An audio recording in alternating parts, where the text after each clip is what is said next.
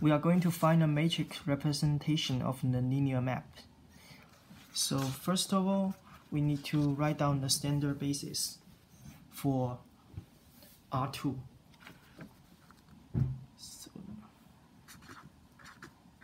So, the standard basis for R2 is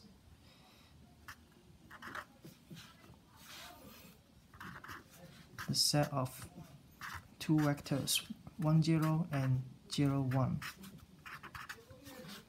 now we, we plug in 1 0 into the function.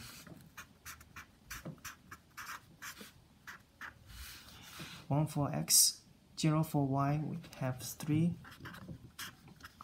and one for x, zero for y, we have two, and this is going to be equal to a1 times 1 0 plus a2 times 0 1. Notice that this 1 0 and 0 1 is also a basis of the R2. So from here we get a1 is equal to 3 and a2 is equal to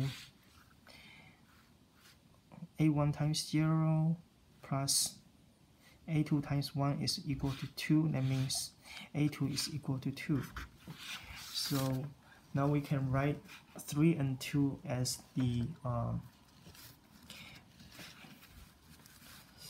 column component of the matrix.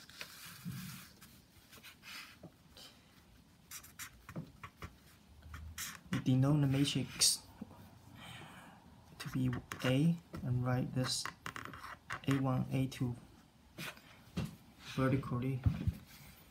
And and then we plug in 0, 1 into the second uh, into the function again.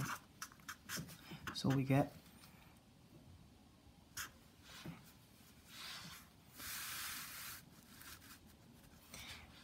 we we get 4y 4 times 1 so 4 and here 0 for x 1 for y we got minus 5 and this is going to be equal to b1 1 0 and plus b2 0 1 and b1 is going to be equal to 4 we write that vertically in the second column of the matrix A. And over here b1 times 0 is 0 plus b2 times 1 is b2 and b2 has to be equal to minus 5 so we have over here b1 as we just did equal 4 and b2 is equal to minus 5 so it's 4 and minus 5 notice that from the beginning um, if we are using the standard basis over here let me write down standard.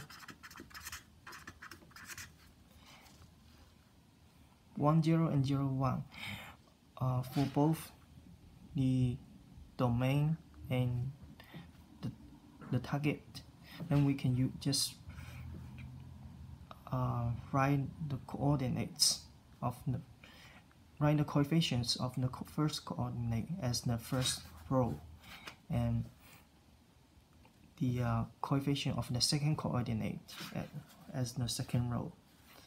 This is the shortcut. So thanks for watching. Um, please subscribe. Thank you.